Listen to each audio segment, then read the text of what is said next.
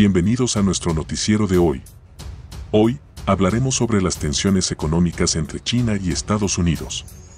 Recientemente, China acusó a Estados Unidos de abusar de su hegemonía, difundir narrativas falsas y causar inestabilidad económica mundial con el dólar. Esto se produce en medio de una creciente rivalidad entre las dos potencias mundiales y ha llevado a un aumento en las tensiones económicas entre los dos países. China ha acusado repetidamente a Estados Unidos de tratar de contener su crecimiento económico y tecnológico, mientras que Estados Unidos ha acusado a China de prácticas comerciales injustas y robo de propiedad intelectual. La acusación de China de que Estados Unidos está difundiendo narrativas falsas se refiere a la narrativa de que China es una amenaza para la seguridad nacional de Estados Unidos. Estados Unidos ha llevado a cabo una campaña global para persuadir a sus aliados de que no utilicen tecnología China en sus redes 5G, argumentando que la tecnología china podría ser utilizada por el gobierno chino para espiar a otros países. China también ha acusado a Estados Unidos de causar inestabilidad económica mundial con el dólar. China ha estado buscando reducir su dependencia del dólar estadounidense y ha estado tratando de promover el uso de su propia moneda, el yuan, en el comercio internacional. La acusación de China se produce en un momento en que muchos países están buscando reducir su exposición al dólar estadounidense debido a la política económica de Estados Unidos y el aumento de la deuda pública. Esta situación económica tensa entre China y Estados Unidos ha llevado a un aumento en la volatilidad del mercado mundial. Los inversores están preocupados por una posible guerra comercial entre las dos potencias mundiales, lo que podría tener consecuencias graves para la economía global. Como siempre, seguiremos de cerca esta situación y les mantendremos informados de cualquier novedad. Entre otras noticias, Taiwán ha anunciado que reforzará sus lazos militares con Estados Unidos para hacer frente al expansionismo autoritario.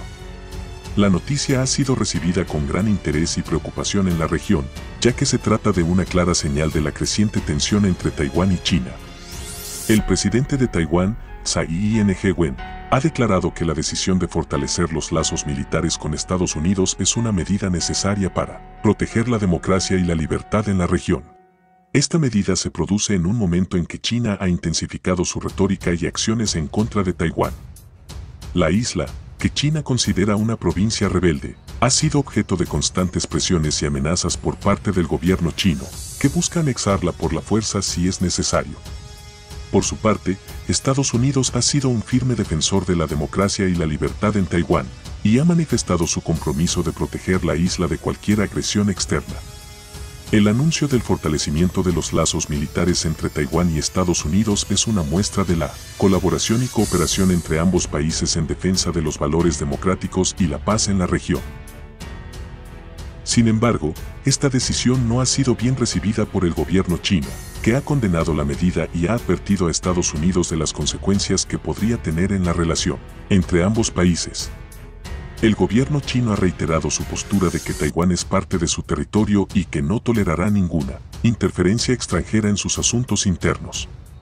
Esta noticia sin duda será objeto de un gran debate y atención a nivel mundial, ya que pone en evidencia las tensiones y rivalidades geopolíticas que existen en la región. Esperamos que este desarrollo se aborde de manera responsable y pacífica, y que se encuentren soluciones que permitan proteger la seguridad y la estabilidad en la región las últimas novedades sobre lo que está sucediendo en todo el mundo. Hoy, nos enfocamos en las recientes declaraciones del presidente ruso, Vladimir Putin, quien ha acusado al occidente de desplegar un frente no solo militar, sino también económico contra Rusia. Durante una conferencia de prensa, el mandatario ruso afirmó que las sanciones económicas impuestas por los países occidentales contra Rusia tienen como objetivo debilitar la economía del país y socavar su posición en el escenario mundial. Putin también señaló que estas medidas son injustas y que Rusia no es responsable de los conflictos que han surgido en el mundo. Esta no es la primera vez que Rusia se enfrenta a sanciones económicas impuestas por países occidentales. En 2014, tras la anexión de Crimea por parte de Rusia, la Unión Europea y Estados Unidos impusieron sanciones económicas a Moscú. Desde entonces, las relaciones entre Rusia y Occidente se han tensado, y se han producido varios incidentes en los que ambos bandos se han acusado mutuamente de provocaciones y acciones hostiles. Las declaraciones de Putin han sido recibidas con reacciones mixtas. Mientras algunos apoyan las críticas del presidente ruso a Occidente, otros creen que Rusia debería centrarse en resolver sus problemas internos antes de culpar a otros países por sus problemas económicos. Si cual sea la opinión que se tenga sobre las sanciones económicas contra Rusia, lo cierto es que este tema es un tema delicado y complejo que sigue generando tensiones entre Rusia y Occidente. La siguiente noticia nos habla de...